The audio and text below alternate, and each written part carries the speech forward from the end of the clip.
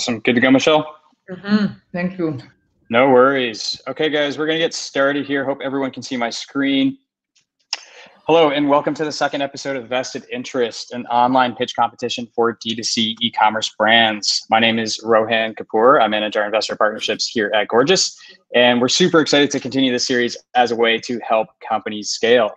Uh, for those watching that are unfamiliar, Gorgias is an e-commerce focused help desk, and we work with a ton of amazing brands along the DSC spectrum that would be great investment opportunities for investors, either on this panel, watching, or otherwise. The format of today is as follows. We will have three brands pitch to a panel of three investors. Each brand will have 10 minutes for their pitch, and they'll be sharing a deck. They're welcome to share anything with respect to the background of their business, how much capital they're looking to raise, what they do with the capital, revenue numbers, and other stats, so on and so forth. The investors on the panel will then have collectively about 12 to 15 minutes to question them based on everything and everything that they said or did not say. And speaking of the investors, let's introduce them. On the panel today, we have Michelle Romanow, Dragon on Dragon's Den and co-founder and president of Clearbanc, Ken Kubik, VP of Acquisitions at Thrasio, and Jody Kessler, principal at 3L Capital. I'm going to turn it over to them for some quick intros. And Michelle, would you mind kicking things off? Sorry, I didn't hear you there. All good. Would you mind kicking things off with an intro? Yeah, of course. Um, so I'm Michelle Romanow. Um, I've been a serial entrepreneur my whole life. I've done everything from, um, you know, I graduated engineering, figured out that worldwide supply of sturgeon caviar was down, and moved to New Brunswick to build a fishery from scratch. That was my first business. Boats, fishermen, my hands knee deep in fish, the whole nine yards. Um, and unfortunately, then went into recession in 2008. So it was a bad time to be selling the world's most unnecessary luxury product. Um, from there, built a big e-commerce company uh, called Buytopia that now operates under Emerge Brands. Should go public later this year. Um, started an early AI app called SnapSaves that we sold to Groupon in 2014, and then joined the cast of Dragon's Den six years ago. Have done a ton of deals through the show, and through that discovered that founders were giving up way too much equity to basically go by Facebook and Google ads, and so started Clearbanc. Um, we give capital to founders on a non-dilutive basis, so we don't take any equity in your company. We do it all based on AI, and we've invested um, over a billion dollars in 3,000 different e-commerce companies, making us the largest e-commerce investor. Um, and I'm excited to hear the pitches today. I'm actually in filming, so this is also what I'm doing uh, tomorrow. exactly, very fitting time. Thanks a lot, Michelle. Ken, can you follow that up? Yep. Uh, so great to meet everybody. Ken Kubek, um, VP of Acquisitions at Thrasio. Uh, my background was I, I, spent 13 years in investment management as an equities analyst and portfolio manager in the Boston area, uh, investing in small cap public technology companies. Uh, I then pivoted to the startup space and about four years ago uh, joined a software tech startup in Boston that was catering to Amazon uh, businesses and sellers, you know, managing P&Ls, shipment plans, advertising management, et cetera um, and also ran an Amazon $15 million year Amazon business at the same time. Uh, and then I joined Thrasio in uh, 2018. We had just started acquiring uh, private label brands, particularly particularly brands that are native uh, to Amazon. Um, and it's been a great run. We've raised over $500 million of total capital. We've acquired 75 private label brands over the past 18 months. Um, and, you know, we're probably at this rate buying five to seven businesses a month.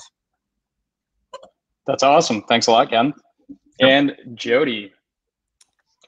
Yes, it's great to be here and and to be here with all, all of you incredible investors. Uh, my name is Jody Kessler. I am a, a principal and, and, founding team member at, at 3L Capital.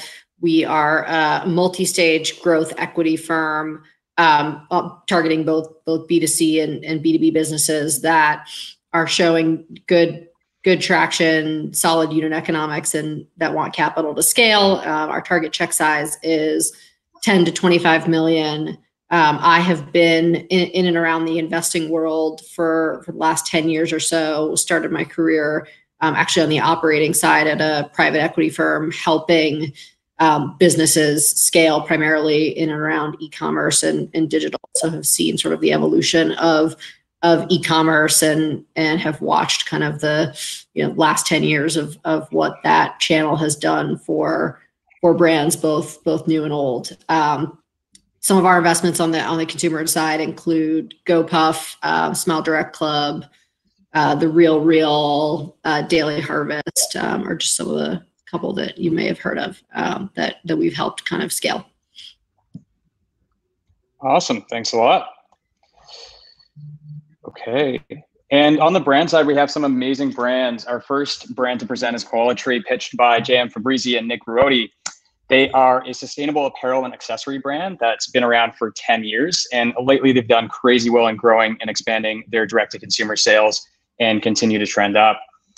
The second brand is Frida Rothman, pitched uh, to you by, you guessed it, Frida Rothman. They are a fashion accessories company with a strong brand story and have been featured in major media channels. And finally, we have Life Elements, pitched by Kurt and Martha Van Inwigen. They've been making small batch nature based body care for 15 years and are most recognized for having the best CBD bath bombs on the market and have big plans to elevate their brand. At the end of the presentations, the investors and I will sync up to pick a winner based on the brand itself, potential for growth, overall likelihood to invest, and overall feel. The three participating brands will receive three months at Gorgias, free audits of their ad accounts from Mute 6, a web agency CRO audit from Blue Stout, three months of free backups from Rewind, 25% off uh, for six months of Pro with $99 in free SMS credits per month from OmniSend, and finally three months free and 100 bucks in credits from SMS Bump. The winner, in addition, will get a free fundraising session at Class Rebel, an influencer campaign giveaway from Kinship, an email marketing audit at Kronos, and one year free in 2000 in marketing spend at SwayPay. And most importantly, all brands are getting exposure to three seasoned investors. And finally, before I hop off here, as a thank you for joining this webinar, we've provided 100 Uber Eats codes for lunch today, first come, first serve. Travis is gonna throw the code in the chat right now. And while he does that, we're gonna get started here and we're gonna bring up JM and Nick for the first presentation in Coalatree.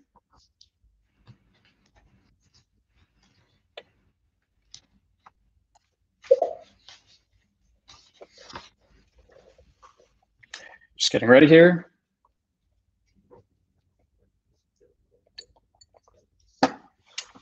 Morning, y'all. Pleasure to meet with you guys. Hey, JM, how are you? Doing well. Morning. How are you? Fantastic, fantastic. Thanks for joining us. You look great. Excited to hear this pitch. Lots of good things about this brand. You've got Ken, Michelle, and Jody uh, all set to, to be all ears here. You got 10 minutes.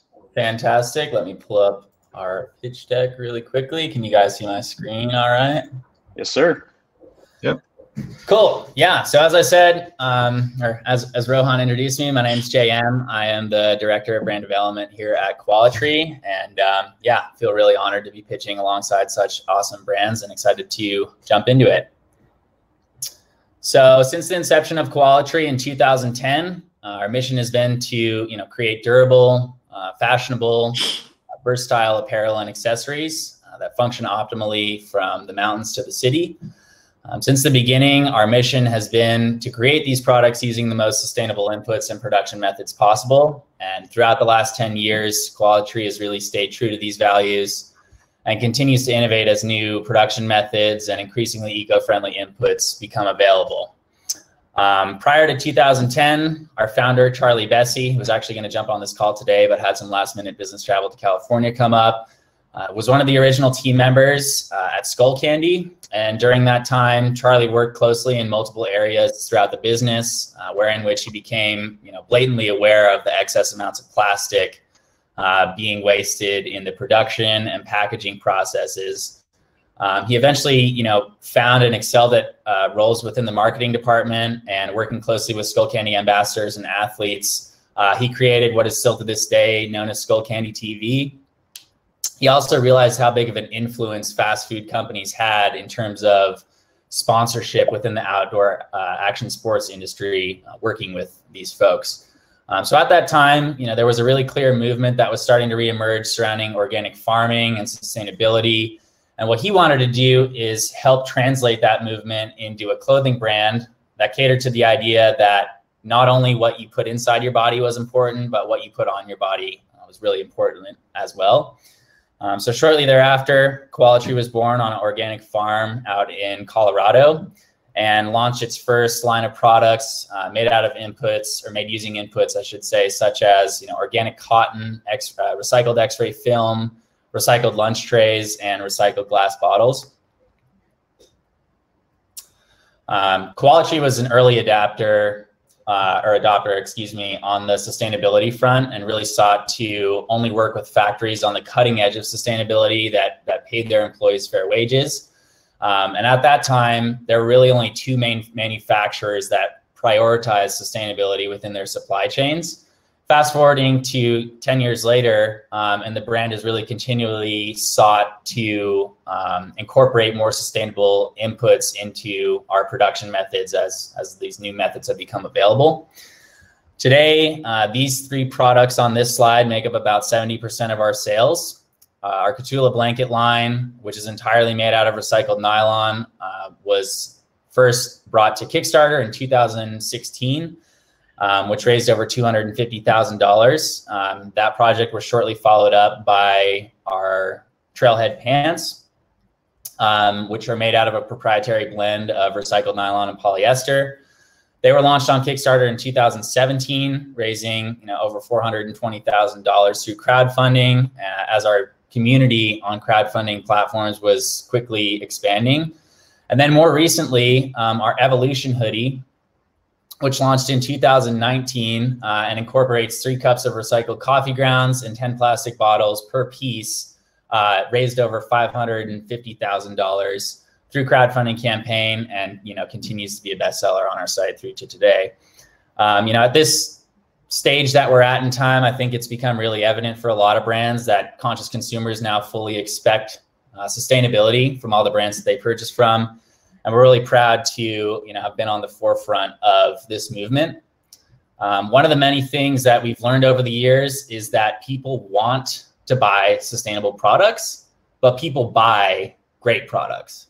Um, and we strive to make our products perform and function as well as an outdoor specific brand's products would, while still placing enough emphasis on um, you know style and fashion so that they can be thoroughly loved and enjoyed you know in the urban setting. Um, exceeding expectations with product quality is, is really what we're all about. Um, and we do this by, you know, obviously incorporating recycled materials, building in multifunctional features to the pieces themselves, um, using really durable and quality materials to to build the products. And over time, you know, we've become a lot better at communicating this philosophy to our customers.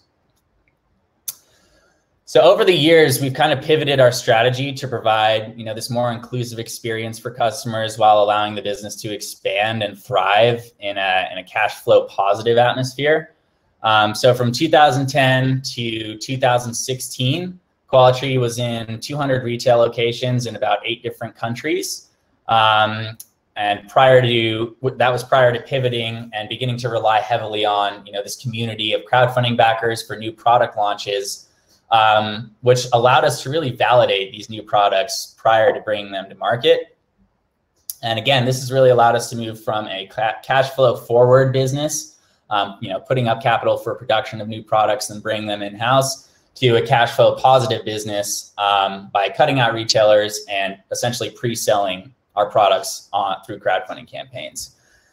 I think it's pretty evident that this approach has resonated well with our customers as you know our audience continues to expand and sales continue to steadily increase. Um, but it also allows us to really have full autonomy and control over marketing efforts customer experience you know our inventory positions and so on and so forth.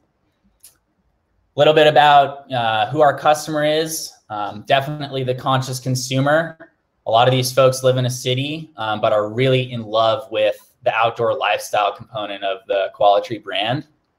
And um, again, you know, these folks want to purchase products that function as well as an outdoor specific product would, but also look for, look and perform phenomenally in a in a city setting. On this slide, I think are some really, uh, you know, impactful metrics in terms of our reach um, that speak to the fact that we're well positioned to execute on our long range strategy. Um, and just a little side note, you know, it's really hard to essentially build communities like this, especially through social media nowadays with changes to algorithms and so on and so forth. And uh, yeah, because of the longevity of the brand and, and our fan base, we already have a much larger organic reach uh, than a typical company at our stage would. To, to continue to grow and expand, um, you know, this audience of, of brand supporters, uh, we utilize longtime supporters of the brand, um, you know, while obviously continuing to find new ones that have really meaningful and engaged presences on social media Another thing that we really rely on these folks for, along with our in-house team, is to create content for these new product launches through crowdfunding, um, as well as content surrounding the products that we already have in our line. And uh, throughout the last 10 years, we've been really fortunate to build relationships with um, media outlets, some of the most relevant ones within our industry, and, and garner a lot of well-earned press um, from these folks. Uh, something to note here is, um, you know, a lot of other brands to get this type of exposure and press um, often often pay for this. And um, fortunately, through these relationships, we've been able to garner a lot of this press, you know, free of charge, and kind of really turn these outlets into advocates and supporters of the brand. So at this time, I'm going to turn it over to Nick, our CFO, and kind of run through some of the financials and uh, let him let him take it from there.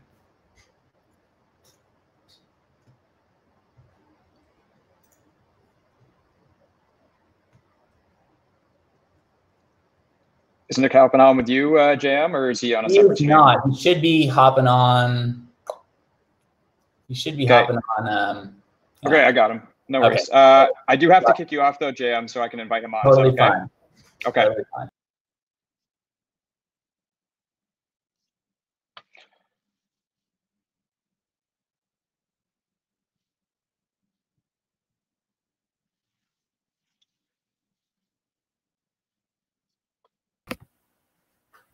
Hey Nick, how are you? I'm doing well. How are you guys Fantastic. doing? Can you, can you hear me okay? Loud and clear. Okay, cool. Um, well, I'll uh, I'll jump into this just since we uh, had a slight delay there. So, um, so based on uh, the strategy that JM just laid out, so we have a five-year plan. Our our goal is to get to 20 million. We feel like this is very achievable based on some of the assets that we do have. Um, so beyond getting to 20 million top line, um, currently we are cash flow positive. So um, in 2019, our EBITDA was about 400,000. Um, our top line was about 4 million. So from 18 to 19, we doubled sales going from 2 million to 4 million. So 2020, um, we've kind of, um, it's been a, a, reset year. It's been the plan um, basically to hire some key positions and um, refocus on some of our product and um, really grow with uh, um, some of our vendor relationships. So um, we've been trending on plan for 2020. Um, so we'll do about 5 million this year. And then we feel like we're well positioned with just some of our vendor partners, products we have in the pipeline, um, and just some of the, the marketing assets to really scale the brand. And so with 20 million in sales, we're shooting for $4 million of EBITDA. So looking for 20% bottom line. Um, part of the shift you can see in blue, um, consistent to what JM went through, we're really shifting more of our focus to direct to consumer. So right now, about half of our sales come from DTC. Um, over the five-year plan, um, as we continue to focus on this, we're looking to drive about 85% of our sales. So this helps our margin. Our, our current margin is about 54, 55%. So it's really healthy. But by moving uh, to 85% DTC, our margin will will tick up above about 63, 65%.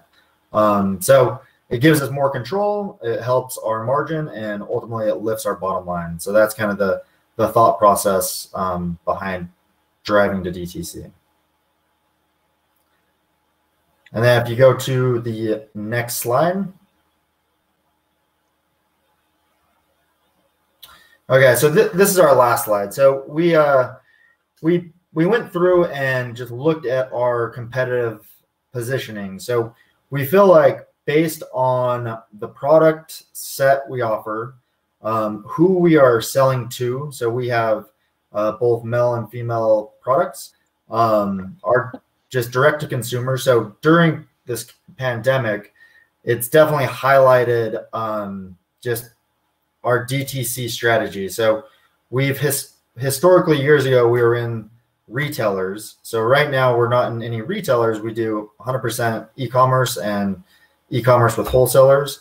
Um, and so with this, where a lot of companies have really struggled um, to gain traction during the pandemic, now this has kept us light, and we've been you know, trending on plan, and it's allowed us to really flex during this kind of tighter period. Um, and then, as Jan mentioned, we have a big following. So currently, we've got 30,000 backers, um, you know, a quarter million Instagram followers. With the new algorithms, it's just it's so tough to to grow that base, and so us being around, this is our 10th year, is a huge advantage. Um, and then some of the stuff that we do with giving back, you know, it's it's a pretty common theme with companies now to give back, but it's so ingrained in in really the DNA of Coalatree. So we have a lot of authenticity, and you know, our our consumers and our fans really understand that that's super important to us. And then just the competitive price point. So because we source directly and we've had these relationships for a long time, our pricing is really great. It allows us to be a little bit more competitive. So we feel like quality is there with Patagonia and Cotopaxi and some of these smaller brands, but our prices can be a little bit more competitive and allow us to still just bootstrap the growth of the company. Fantastic. Thanks a lot, Nick. And we'll see if we can get uh, JM back on screen here. JM, if you want to stop sharing your slide deck, it might uh, invite you back on stage. If not, I'll get you back up.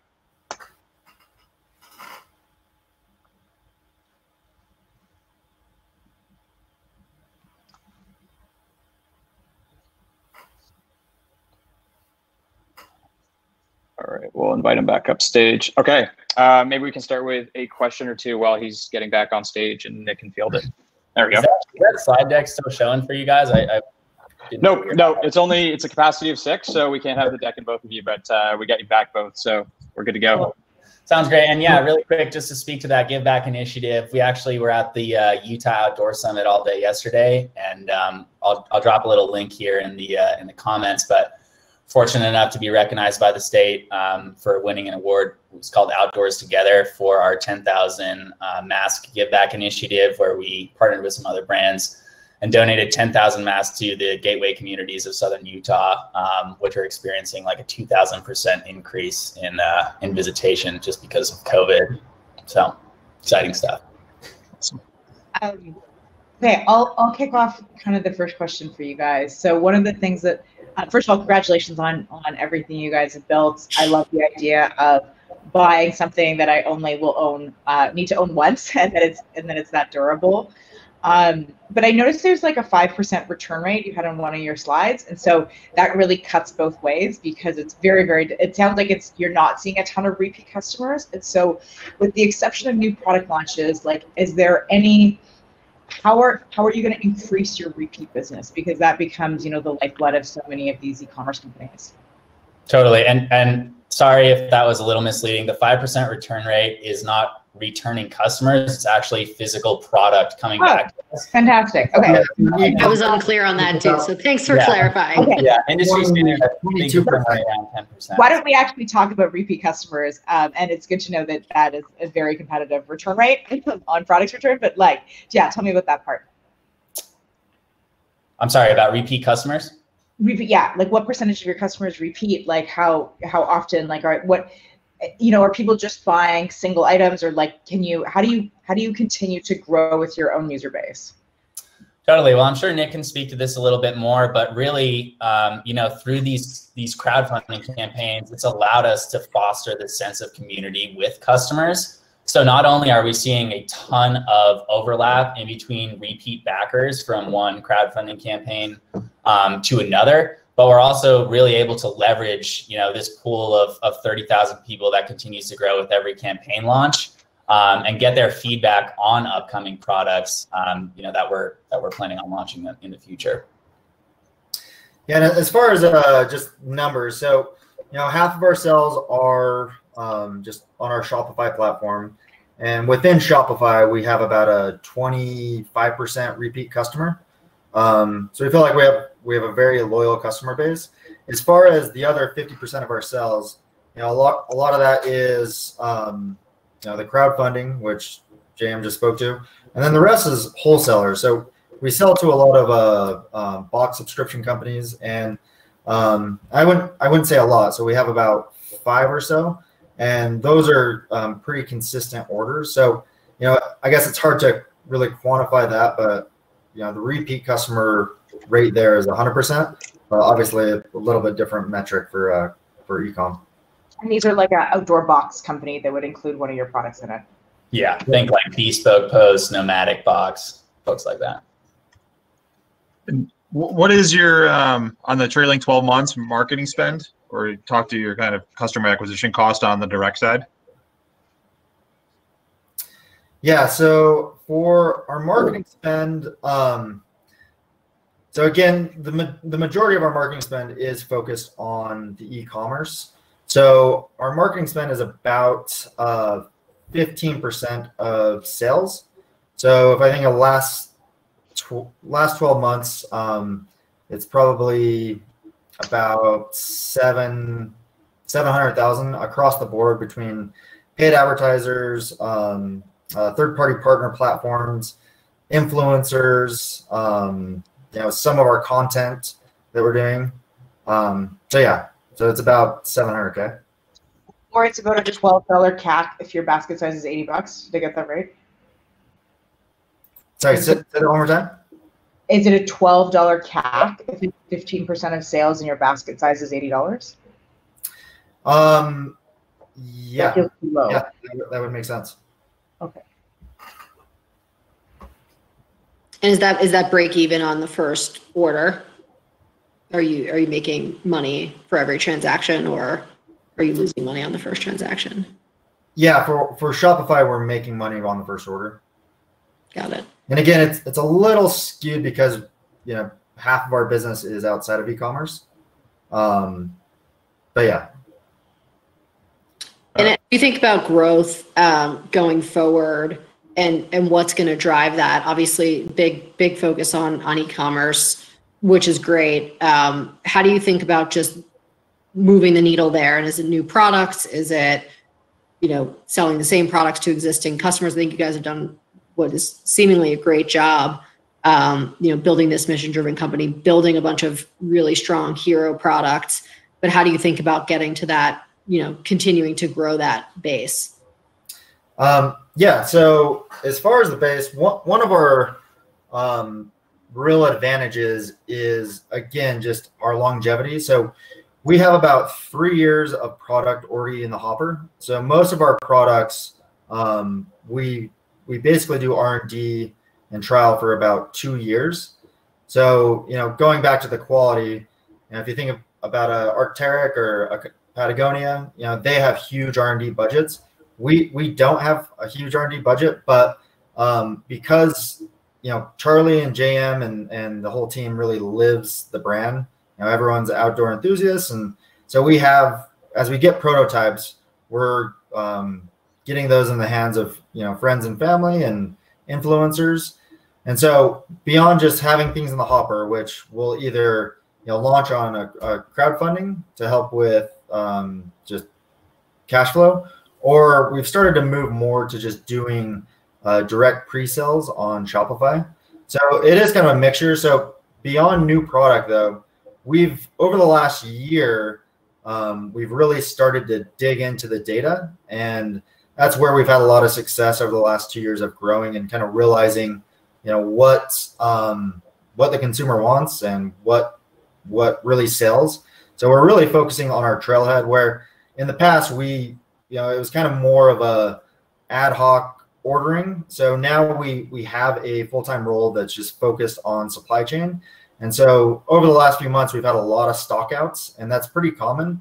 So we've kind of reset with this new position and with one of our partners who's really focused on you know making sure we don't stock out. So we've cut our lead time down into half. So we really we really think a ton of the upside is just focusing on what we do really well, which is our trailhead line, the pants and shorts. And on the R and D side, I guess is that is that being, you know, in collaboration with your suppliers? Um, you mentioned that, that you think your supply chain is a sustainable competitive advantage. Maybe just talk a little bit more about your suppliers, where they based, and you know, in terms of the materials, as this is obviously, I think, pretty secular movement in terms of sustainability. Um, do you have enough? Do they have enough capacity to deliver on the future product roadmap? Absolutely. We, yeah. We're really fortunate too, as such a small brand, to, to work with suppliers um, such as Syntex, Everest. These are a lot of the same factories and suppliers that really large companies like North Face and Patagonia use. Um, so we'll definitely, there's no question about scaling, um, you know, with the partners that we currently have.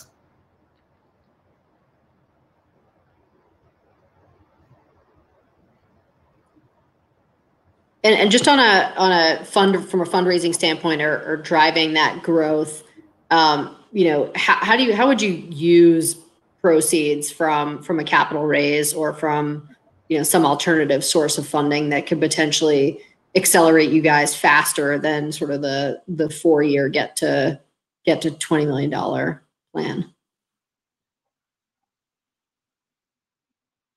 i think you might be muted nick You are correct. Yeah. So um, sorry about that. up to this point, we've been able to just bootstrap the growth. Um, so obviously, you know, doubling um, top line is not painless when you know you're working with just your funds. But um, so with uh, use of capital, we basically focus on um, getting a, some additional bodies in here. Just you know, people are wearing a lot of hats. Um, so really focusing on some of the uh, some of the things we've been using third parties for, you know, site conversion, optimization. Um, I think there's some opportunity, um, more opportunity around merchandising and, and supply chain.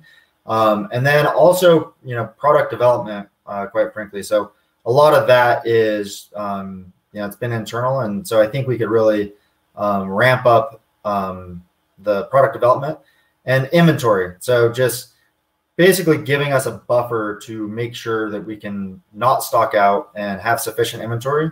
So part of that is with our partner, and we, you know, we've been working very directly with them to supply forecasts, and there really is no cap. I mean, they're they're hungry, and um, you know, they basically said they're willing, and based on our five-year forecast, they can grow with us.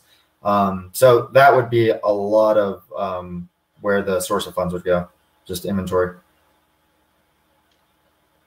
Hey guys, I'm going to jump in here just because we're at time. We have to move on to the next one. Uh, all great questions and, and great pitch uh, to both you, Nick, and, and you, JM. Phenomenal brand, of course. We got a couple of new customers in the chat, as you can see, uh, which is phenomenal.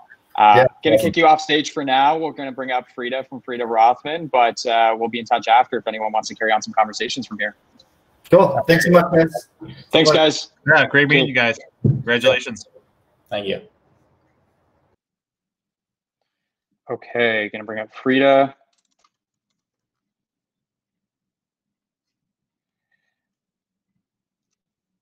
And while I do that, uh, for whoever's watching in the chat, we're going to toss a link for a free two months at Gorgias. If you click that, uh, we'll get you in the door ASAP. Thanks to Travis. Hey there, Frida. How's it going? Hi, am I muted or I'm good? We're good. You're okay. perfectly fine. Yep, sound fantastic. Crystal clear. All right. Um, the, not much to say here except we have a phenomenal brand, phenomenal story, and you're going to tell it really well. I have no doubt about that. Um, the floor is yours, Frida. Go for it. Thank you so much. Minutes. Hi, everyone. It's such an honor to be here and to be speaking to all of you. Um, my name is Frida Rothman. I am the founder and CEO of the Frida Rothman Jewelry and Accessory Company. Uh, I launched my company in 2013, and I was inspired by my grandparents. Uh, let me tell you a little bit about my grandparents. All four of my grandparents were Holocaust survivors, and uh, they taught me everything that I know about life itself. Um, I grew up across the street from my grandparents, and they were a huge inspiration in my life. They taught me what it means to live, to laugh, to love. What always inspired me about them was the fact that they were able to continue their lives to get married, to have children, to raise a family, and of course to teach me everything about my faith. And those are the uh, characteristics that I look for in teaching my own four children. And that is the source of the inspiration for everything that I do and all parts of the collection itself. Um, my jewelry is meant to inspire and empower women. Uh, since we launched the collection in 2013, we have uh, partnered together with Nordstrom, Bloomingdale's, um, Neiman Marcus, and most recently in June of uh, 2020, we launched with QVC uh, at a sellout event, and we have two more events lined up for November and December of this year. Um, I'm going to do a little screen share so I can kind of take you through the brand itself. Uh, let's do this. Okay. Do you guys see my screen share? Not yet. Not yet. Okay, hold on. You see the little icon that says there screen sharing? Yep. Do you guys see it now? There we go. Okay.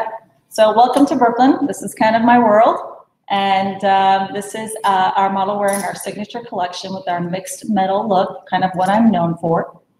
Um, really taking you into the Brooklyn uh, experience. My brand is known for elevating your Brooklyn grit into wearable glamour for the modern empowered woman. The four core values of my brand is what we really stand for is glamour, craftsmanship. All of the jewelry is a sterling silver base metal. Heritage, my family background. I'm also a second generation jeweler. My family has been in the jewelry industry close to 40 years. And of course, the inspiration of all of the collections. Um, this is me. Um, I was born and raised in Brooklyn. I am also the mother of four children. And my goal for my brand and everything that I do is to remind every woman of her inner strength. Uh, this is the picture of my grandparents. Um, everything that I do is to honor their legacy and also uh, to always, whenever I see their faces, their pictures are actually here in my office, in my space, and I speak about a lot about them. Um, the reason I find it so important to always speak about them is because whenever we're going through a rough day or we're having a hardship in life or you know, I'm having a bad day at work or in business, and I see them, and it always reminds me that their optimism, their perseverance, and their hope for life, everything is going to be okay, especially going through our COVID crisis, everything is going to be okay. Um, you know, every they went through the worst horrors of humankind, and they were st- still able to not only survive, but also to thrive in Brooklyn. Um, as I'm going to take you through some of the product, you'll see some of the beauty that I find in Brooklyn itself, which is the source of inspiration for all of the pieces. So the necklace that you see here, um, this is part of our signature collection, one of our most iconic pieces from the collection, um, is that mixed metal. I remember meeting the Nordstrom buying team at my very first jewelry trade show in 2013, and they fell in love with the collection with that mixed metal look. It was nothing like they had in their in their jewelry cases. And um, as you can see from the pendant itself, you know, when you think of inspiration for jewelry or for accessories or something beautiful, you don't normally think of Brooklyn. You think of the gorgeous ocean, you think of France or Europe or something like that. But I specifically look for areas in Brooklyn that are super gritty. So one side of the pendant has that crisscross design work that's inspired by the railroad tracks that's right outside my office in Brooklyn. And on the flip side of it is inspired by the manhole covers in New York City and adding those gorgeous feminine embellishments to the pieces itself.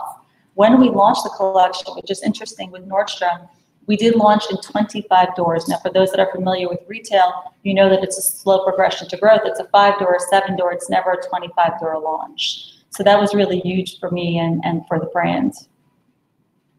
Of course, all the base metals are sterling silver, so we also sell to close to 200 uh, retailers, fine jewelry retailers across the country as well. Um, the key investment highlights, uh, why I believe you should invest in this brand is six reasons. One is I am a female founder and CEO.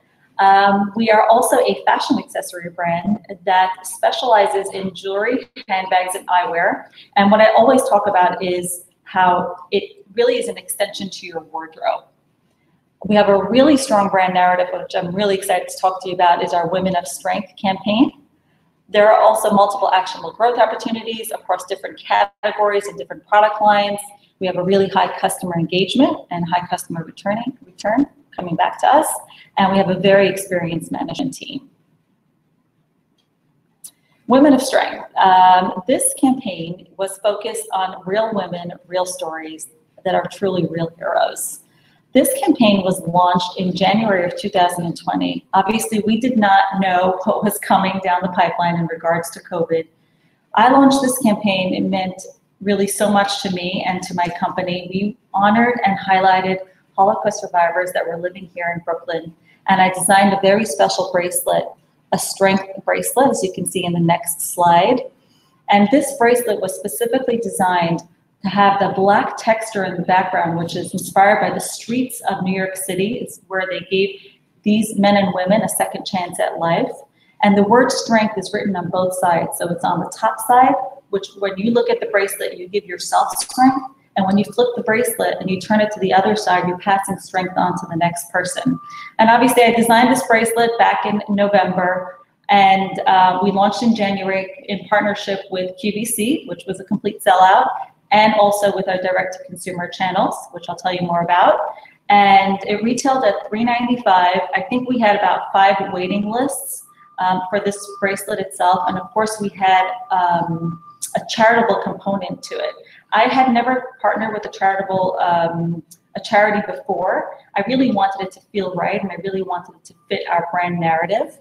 Um, through the sale of the Strength bracelet and across our e-commerce sites, we were able to donate over 10,000 meals to feed the elderly here in New York. Um, and then, of course, once COVID hit, we realized how uh, the elderly really were affected um, during COVID. And a lot of people couldn't get food. I myself put on mask and gloves. I got my kids, my neighbors involved, and we were going out. Obviously, this picture wasn't taken during COVID. I'm not wearing a mask. But, um, and we went out and actually delivered food, and my company was able to donate, donate 10,000 meals um, because of that. So we are going to continue this charitable component of our work. I just want to tell you, touch a little bit more about the Women of Strength. This campaign resonated so well with women across uh, the country. We're going to continue this campaign. We're actually partnering with um, QVC. On November 11th, we're launching a Women of Strength honor bracelet honoring women in the military also retails at 395 and we have already identified 10 women that are going to be our women of strength. And just, just want to give you a little, little shout out to the lady in this image. This is Dolly Rabinowitz. She's 96 years old in this image. She is an Auschwitz Holocaust survivor, and I grew up with her. She, I was really good friends with her great niece. So she was our hero and our woman of strength. And of course, we do have one-on-one interviews with her and really inspired so many women across the country. I also want to talk about how accessories matter. Accessories really extend a woman's wardrobe. One of my favorite things to do is, you know, when I go to these trunk shows or events, or even through virtual events, where I can see a woman walk into a room, she's dressed in her whatever outfit she chose. And in my mind, I'm like, if I had that perfect bag or the perfect pair of shoes and earrings and accessories, just to me, really, I can only show you the shoes that I'm wearing today. To me, I really think that it finishes a look when you put that great layered necklace, that stacked bangle, um, really completes that look. Um, we also have handbags and sunglasses, which was an extension to the jewelry. And what's interesting to note about these categories is I, am also a mentor for young designers. And one thing I always tell um, the young designers is when you're going to add another category, make sure that you're different. What like what made me special to Nordstrom was because I had something that not everybody else had. So I added jewelry elements to the handbag and of course using that signature matte gold on the eyewear as well. Uh, for those that are familiar with the brand, we are really well known for stacking bracelets. Um, women keep coming back to continue to add to their stack, um, add multiple dimensions, and of course that stunning mixed metal, adding the grit of Brooklyn um, of that black and gold finish. And these are some of our best-selling hoops that we sell as well with that mixed metal, and of course always inspired with that Brooklyn inspiration in the background. So just give you a little uh, e-commerce overview and what's going on with my business as far as direct to consumer. So obviously when I started my business, we were primarily wholesale, working with our wholesale partners. That was the bulk of my business. over the last two years, we've really um, taken our business more to direct to consumer. I always say we're lucky to be living in this time and age where we're able to reach our consumer directly and um, through all of our social media channels. And we have our ROAS to date right now is 6.5x. Our Shopify reports a 235% increase in sales uh, year to date in 2020 compared to 2019, which I feel very, very blessed to have that especially in a COVID year, we've seen growth. Um, return rates, meaning not returning customer, because I heard that earlier. Our return rate for e-commerce is about 10%, which I, which for an e-commerce, that's a really good number. Um, I also want to talk about the strategic growth initiatives for our direct to consumer. So this is what I'm the most excited about.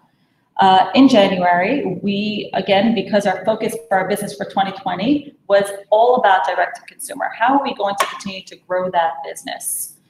We partnered with brand stylists across the country. We now have close to 100 brand stylists that each one of those stylists have between 500 to 1,000 clients.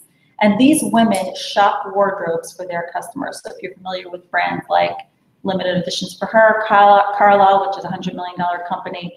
These stylists um, style and dress their clients, uh, but they don't have any jewelry and accessories. So we right now have our own FR brand stylists, almost 100 of them, that have not only met their goals so far, they've beaten their, their goals month over month. And that is how we are building almost an army of stylists across the country. Um, we are thrilled with this growth and we see huge opportunity with additional categories outside of just handbags, eyewear, and jewelry. They're starving for more. They love the brand story. They love the jewelry. Um, they think the quality is amazing. And again, who my customer is, she really is a more, um, she's a professional woman. She's a professional working woman. She's looking to her stylist to dress her from head to toe. And this has been a huge opportunity, a huge growth opportunity. Um, we are looking to raise uh, $2.5 million in the fall. And let me tell you a little bit about the use of proceeds. We really want to embed ourselves more in the customer journey um, through technology. I have this dream of really elevating that experience through starting their stack. I really want to own that category of, of stacking and make that experience a really uh, incredible virtual experience. I also want to deliver a more personalized experience to, to, to you know, retain higher customer retention, invest in both CRM technology and resources to improve clienteling through enhanced customer data. Um, we also want to continue and to communicate consistent, relevant brand story across all channels and customer interactions. And uh, that's just another picture of our strength stack. This is part of our industrial finish collection. We have four seasonal collections a year, your traditional fall, holiday, spring, and summer. So that is pretty much our investor deck. If anybody has any questions, how do I get back to, there we go. Awesome. Thanks a lot, Frida. Sure. Let's uh, let's circulate the room for any questions that come through from the investor side.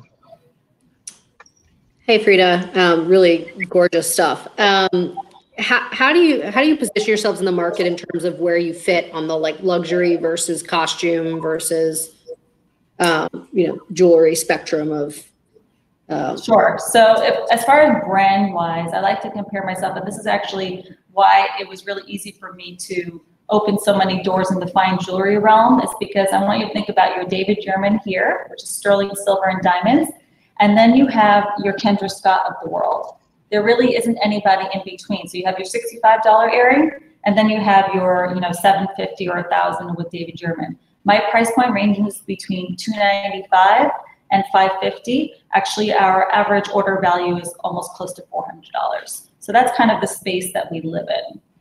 And my customer is in apparel, if you want to think of what she's wearing or what other brands she really likes. If she likes Tory Burch is a great comparison, um, Coach, brands like that. Got it. And what was your revenue in uh, 2019 and then 2020? I'm sorry, I can't hear you. What was that, Michelle? Oh, what was your revenue last year and then this year so far? And then what's contributed to the growth during COVID? All right, so the revenue itself, if you're interested to learn more about the offer, I'm happy to talk about that offline. Um, but our growth has been, for, for year over year, we've been at about 200% um, growth the year before. Um, like, is this like sub 5 million, sub 10 million, sub like just like a range then? Okay, so it's between uh, three to five. Three to five, got it. Cool. Mm-hmm. And, and what contributed to the growth um, during COVID? Like, was it ads performing? Was it like what what allowed you to drive that growth? So the growth during COVID was obviously the strength campaign and the strength story is really what just blew out of the water. I think the story itself resonated so well with so many women across the country. And another thing is that you had you have a lot of people spending a lot of time on Zoom, and we have found that earrings and necklaces and anything that's happening from up here has really uh, grown. Um, so I think that also played a big role. Right. And jewelry and accessories in general is doing really well um, during this time. I know apparel isn't doing that great, but jewelry and accessories somehow, Women's Wear Daily keeps reporting how well that category is doing. And is most of the e-commerce or is it the whole like what's happening on the wholesale partner side just given so that's a great that's a great channel. question. Yes that's a great question. So obviously we know what's happening in the world of regular retail. Your nordstrom's of the world your neiman marcus. We had tremendous business there and obviously those numbers are no longer there. But we had a really a silver lining. Um, we partnered with qvc and QVC to me is like ideal. You're doing retail, you're virtual selling, they've got the whole system down pat. Um, and that's been really, really successful. So we're really excited about that partnership. Our wholesale partnerships, as far as your Neiman Marcus, your Nordstrom's, we are still continuing that business. We're kind of like, you know, limping along, but we're confident that we're going to get back up there as soon as you know the world becomes a normal place. Who knows what's going to happen? I do have virtual trunk shows booked with them with Nordstrom in September and October. We're starting to book up our calendar. And on that note, also, you asked the question earlier is how we stayed alive during this time. I probably hosted 200 trunk shows during this time virtually. I probably touched thousands of women. I took it upon myself to kind of take advantage of this time because women are home and we can speak directly to them. I didn't have to travel anywhere. And through our stylists, we were able to get hundreds and hundreds. I, I have one right after this. I have a virtual trunk show. They're based in Florida, inviting their women, and then that's how we were selling. So that's been key to, to that growth during this time. Um Frida, how many? So out of the hundred stylists you have, I guess how many, roughly, how many units have you sold through? Um, channel? I don't know unit number, but I do know dollar amount. Um, we are almost at that half a million dollar mark uh, with the stylist alone. And keep in mind that that number keeps growing um, as more stylists join. So obviously in January, what we had maybe 10, you know, and every single month, every day I'm sending out welcome packets. There's more and more joining. And and who's who who else is on the team? And are you do are you the main product so designer? I am the CEO. Actually, my husband is my business partner. He is the chief operating officer. And then we have two uh, directors for our direct to consumer business who have years of experience building this channel of stylist businesses. Um, so they came from the company uh, Worth, and uh, they are with our team now. We also have our head of brand who comes previously from um, Furla, and uh, she does all the marketing. We also have a creative director um, who does all that gorgeous imagery that you just saw. Um, we spend a lot of time on our marketing images to kind of draw and tell the story. Um, we also have a large team as far as we do all of our packing, packaging in-house. Um, so we have our, our office here in Industry City in Brooklyn, which is a very industrial area in Brooklyn. Um, so we are a team of about um, 17 to 18 outside of, of course, our stylists and our um, uh, sales reps on the road. The is really beautiful. It's uh, it's really nice. Your images are beautiful. Like I can see why they're they're translating well online for sure. Thank you. Where are you finding your customers online as you've started to invest more in in your direct to consumer channel? So Facebook has been our, our highest conversion um, as far as uh, you know ROAS and, and, getting new customer base. It's obviously targeting who she is. She's 35 plus. She's a professional working woman. Um, it's finding the right audience. You know, sometimes you hit that vein, and every single day those orders are coming in, and sometimes you kind of have to find a new group. But it's understanding who she is, where she is, and um, you know, doing the work and, and, and targeting those customers.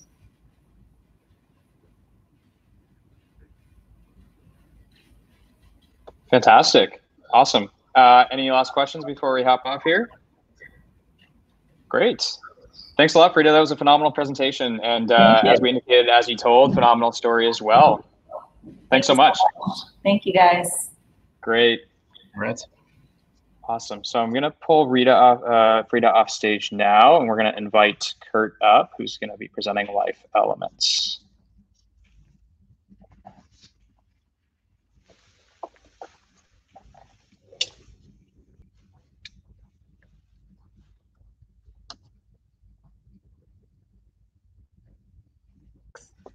Uh, we're in uh, California. Where sorry, folks. We're in California where we're having a lot of issues with fires and things, and so our internet has been in a flux throughout the week. There, we're having blackouts every once in a while. So our apologies. No worries. Oh uh, glad glad you could make it. I thought I had to end the webinar right there, but um, we're, we're, glad to have you. I know. Sorry, sorry. So, ready no, no worries, no worries. And you, you've got the sign in the background, so that makes up for it. It's looking good. Um, everybody, this is this is Kurt and Martha. They are here on behalf of Life Elements, phenomenal brand in the CBD space as well. And uh, Kurt, you can uh, you can take the floor, and if you want to share your screen, you're welcome to, of course, by just clicking the little icon right on your uh, right on your screen there. Oh, jeez. We're on the screen. Uh, if you hover, if you hover over your name, oh, over your uh, over, over your, your video, screen. you should be able to click a, okay. enable screen sharing. Yep. There we go. There we go. There we go. You know, we've had 25 years in technology. You would think that we'd be smarter than this. so again, our apologies. Okay. Can you see that? You guys see our screen all right?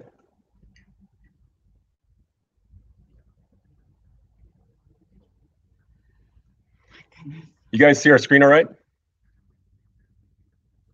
No, we can't see it yet. Just click the enable screen sharing and then you should be able to select the tab or the window that you want to share. Oh, All right. Hello. Now we're going. Jeez, Marie's. Here we go. I have to cut your time to three minutes now, unfortunately. No, I'm just kidding. no, we will. We will roll through this. Uh, we will roll through. Just this. go through it. Yeah. No worries. Uh, no worries at all. We'll uh, we'll get your your allotted time. Um, the floor is yours. So all you have to do is toggle through, and um, you're good to go. I'll leave it to you guys. All right. So we're coming to you guys from our production facility in Atascadero, California which is on the central coast, halfway between LA and San Francisco.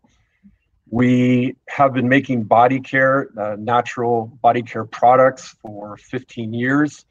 We look at ourselves as a, a standard commercial CPG brand, and we started experimenting with uh, CBD and uh, THC blends uh, in 2015 or so and we were very early to market with the CBD products in about 2017.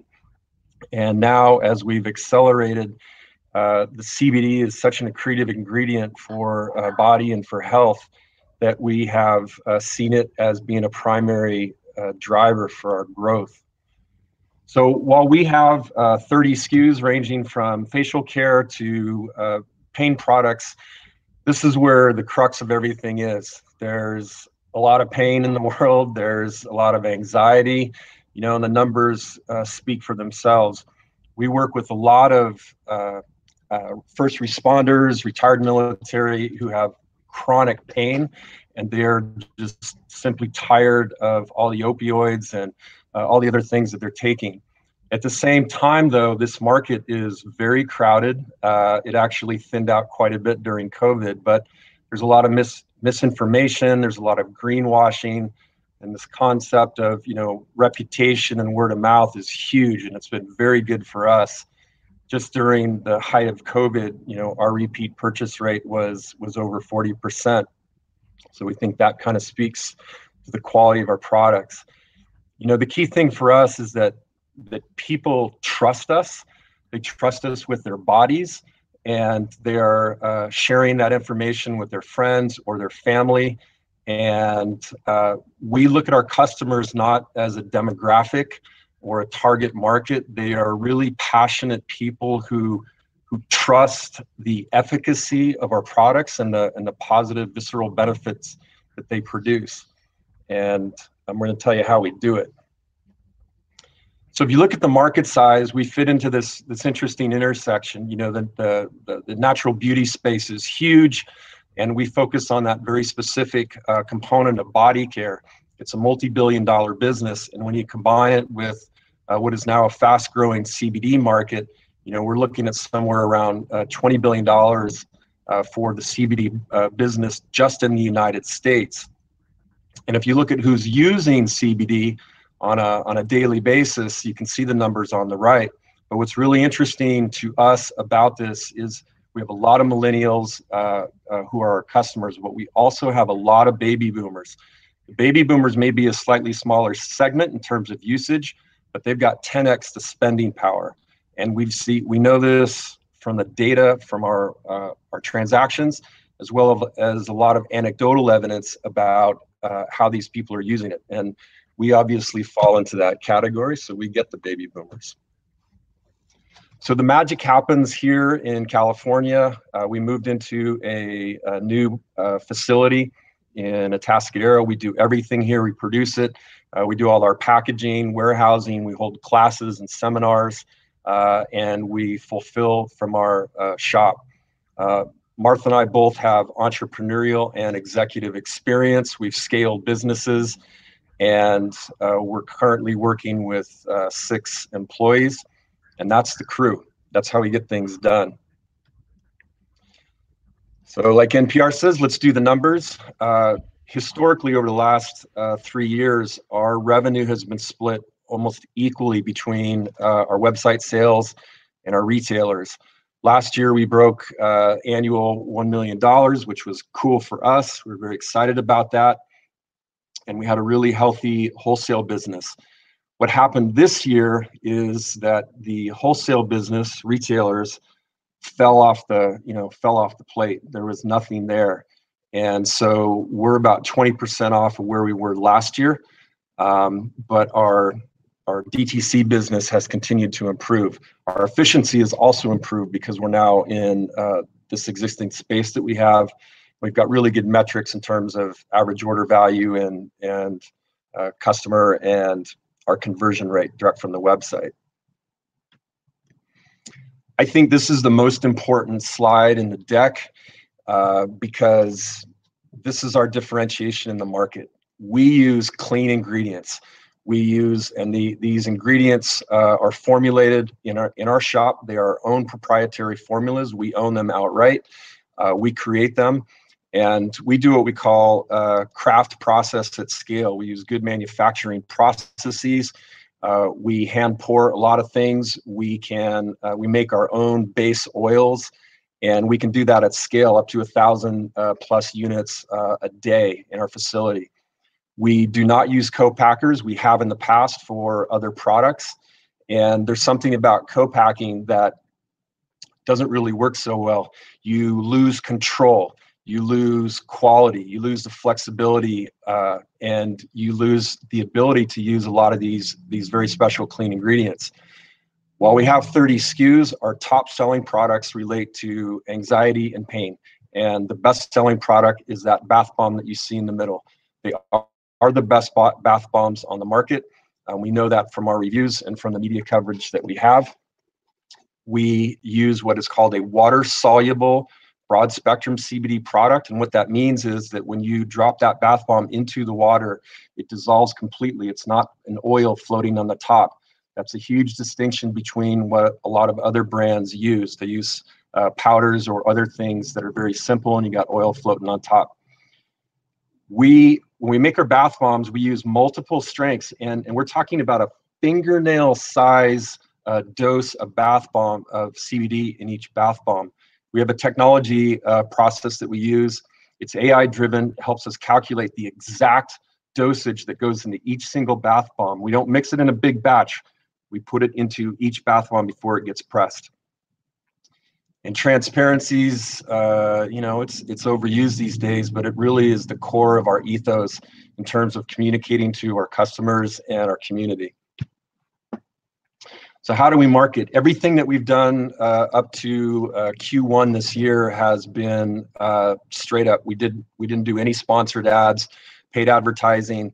As it relates to CBD, it's a really tricky uh, process. We have relied heavily on social and our existing uh, email list, and we're in the process of moving from Mailchimp to Klaviyo, which gives us a lot more opportunity for segmentation, automation, and customer lifecycle management uh, are paid. We've, we've run this gauntlet through Google and Facebook and Instagram to be able to, to now uh, have ads, and that's just getting started.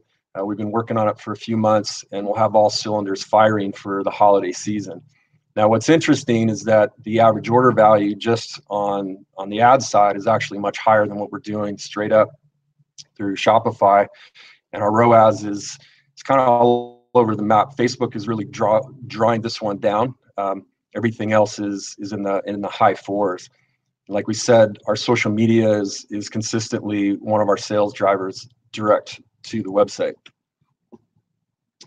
So what are we looking for? Uh, we're looking for seven hundred and fifty thousand dollars, and we are self-funded to date. Uh, we have a small uh, friends and family loan, and what we see in the marketplace is there's a ton of spend to uh, to create new awareness and new customers. We and I hate saying this in front of a group of investors, but we are not a sales-driven organization. We have been catching incoming uh, leads and sales since we started, and that's really been a production issue and not a sales issue. So first thing on the list is to improve our production equipment and the folks that go along with that a very important part of what we're doing is is moving our our vessels, our containers from plastic to more sustainable uh, products like glass.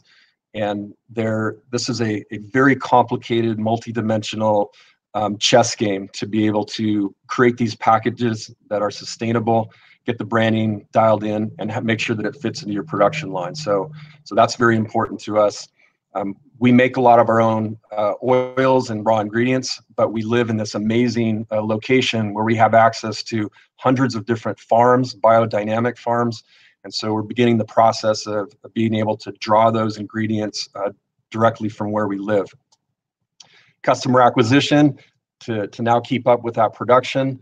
Uh, we have expanded uh, some analytics paid media, uh, driven paid media and a lot more promotion to the website.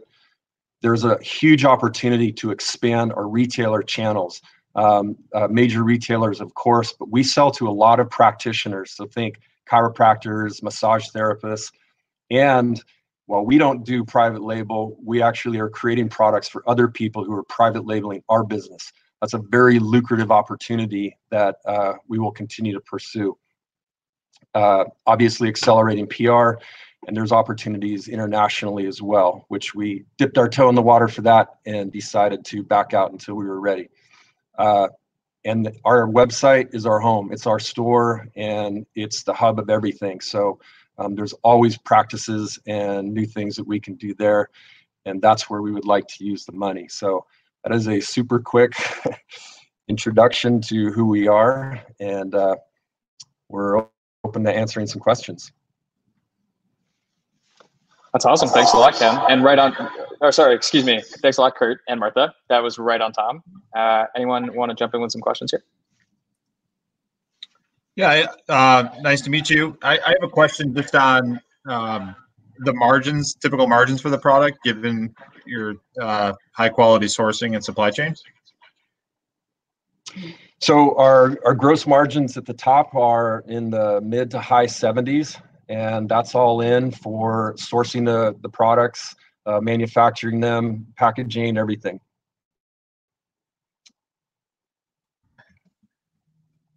Um, this look, it's a it looks like a really cool product. I'd love to see if it takes away some of my back pain. So uh, very cool. And uh, I know it's not um, always easy to like use all these ingredients together. Um, oh shoot! Oh yeah. Um, I was just gonna ask. So I want to make sure I understand. So right now on Facebook and Instagram, they've removed the restrictions uh, to sell CBD products, right? So you should be able to scale quite differently than you had been able to previously. So the answer is yes, but there are a lot of caveats. And okay. uh, there, like I said, navigating the gauntlet has been very tricky. So for Facebook, Instagram, Pinterest, Google, they all have restrictions, and the restrictions uh, relate to very specific use of of terms like CBD.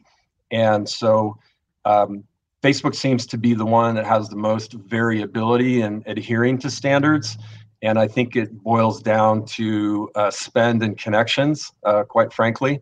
But uh, we we have got uh, some good traction, especially with Google, and that's where we're seeing the most, uh, the highest ROAS. And then obviously, uh, retargeting ads have done very well for us. Great. On the, uh, no, on the um, the repurchase rate, are, are there any specific products um, that have a much higher repurchase rate? Absolutely. Anything with pain that has to do with pain or sleep, um, those those are our biggest sellers. So our ache and pain relief stick, the bath bombs, our CBD body oil, and our CBD body lotions that can be layered amongst each other we offer everything in multiple strengths. So if somebody has a pain level of one to 10, here's a product for you. If your pain is higher than that, here's the second pro here's another product. And so those tend to be the highest sellers.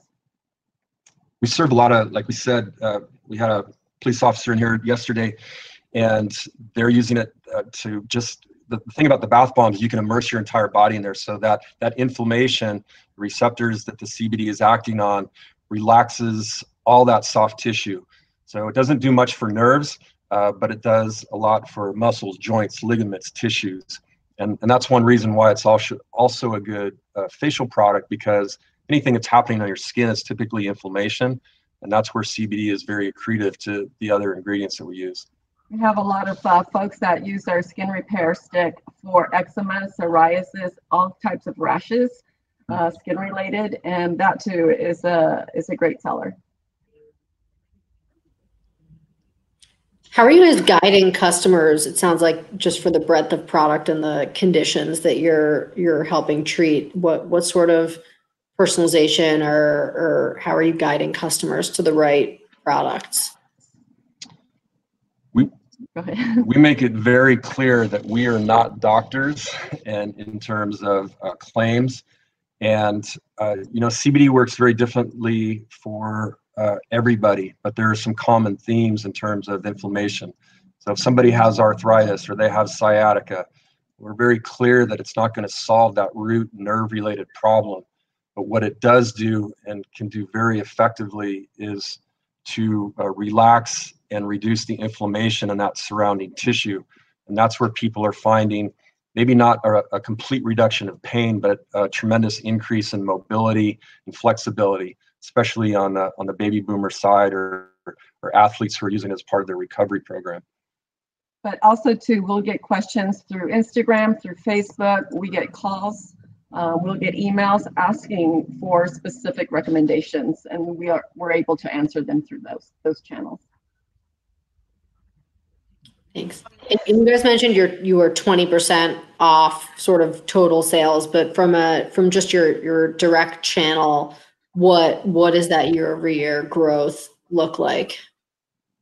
So this year we're about 40% up on uh, direct to consumer, so it's making up that that sale. And as we get closer to the year, closer to Q4, We've traditionally done about 40% of our sales in Q4. This is a very different year, but we're seeing the wholesale accounts pick up and uh, our we always start the year planning for Q4 because that is our biggest market. So all these activities that we were talking about in terms of paid media and uh, new email programs is to have everything set and dialed for Q4. Uh, we have a very specific plan for the holiday season, and we've been very successful in executing that. So we have a, a high degree of confidence, like I said, that we're going to either meet or exceed what we did last year. Obviously, not what we had forecast uh, out of the gate. What constraints right now? Is it um, buying ads? Is it production? Like, what prevents you from doubling or tripling the size of this business next year? It's uh, getting um, the reason we, we want to be part of this is because we're looking for strategic partners because that's right now that's our limitation uh, right yeah it's it's it's a, like i said we're, we're being driven by production capacity that's that's really the challenge that we have right now um, you know at scale uh, we understand how how everything how the machinery works and how the production cycle works but we need to add some uh, very key staff and we need to add some very specific equipment in terms of the market, you know, uh, we make topicals, and the FDA restrictions on that are, are very limited. There's no restrictions. It's only on the ingestibles where there's restrictions, but really what we need right now is the sales force assistance with that and the equipment to keep up with that sales force. So we've been throttling the business in order to keep up with what we're currently doing. But if we can get the proper equipment and the proper staff and uh, in place, I don't think there's any stopping us. Yeah, and there's a there's a brand component for sure. You know, we've talked to uh, larger retailers, and uh, everybody loves the brand, but the packaging uh, we can continue to improve, and and that's where the sustainable, a little bit higher end packaging uh, comes into play, and that's what gets people excited when we start talking about that. Although they do love the current packaging and the design that we have.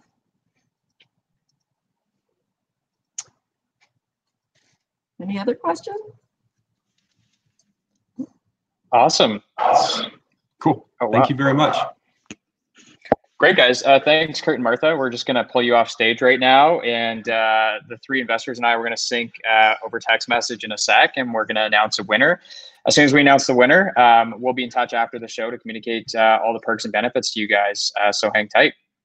Cool. All right. Thank, thank you. you. Thanks, guys.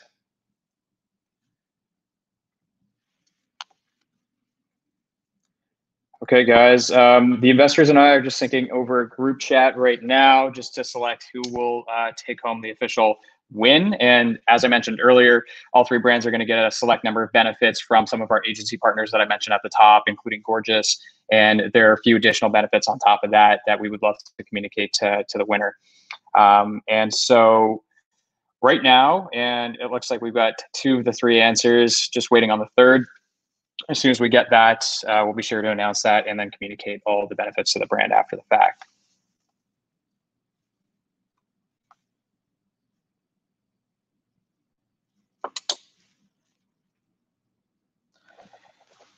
My email is included here as well. So if there are any brands that are watching this episode right now and uh, want to apply to the next episode, please feel free to reach out. We'll also toss the link in the chat so you have that.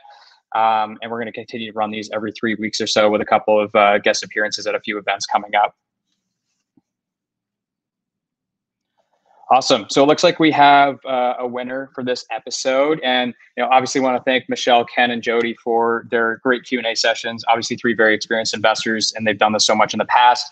Uh, we're going to give the win for this one to Coalatree. They did a phenomenal job of, of pitching their brand. Uh, they've had years of experience in doing what they do, and they've really emphasized their direct to consumer approach uh, over the last little while since 2016.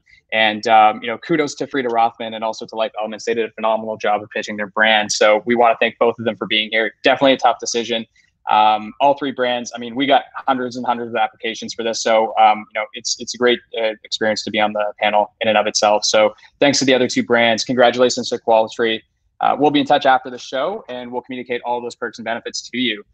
Uh, but for now, we're just under an hour and a half, so perfect timing. Thanks again to Michelle, to Jody, and to Ken, and to the brands that participated. This was phenomenal, and uh, looking forward to running this every three weeks. Thanks a lot, guys. Thanks for having us. Appreciate it. Thanks, Ez. Thank you, guys. Cheers.